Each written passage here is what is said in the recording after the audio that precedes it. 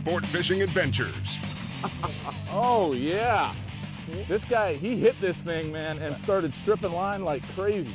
Chris Burns and former linebacker Daved Benefield Lights came on. Bow, bow, bow, bow, bow, just striking it. bring the energy and the fight to the bountiful waters of Ucluelet. That's our Derby winner right there. Were you there when we won the Grey Cup in your stadium? Yes, unfortunately I was, Chris. Don't miss this sport fishing adventure.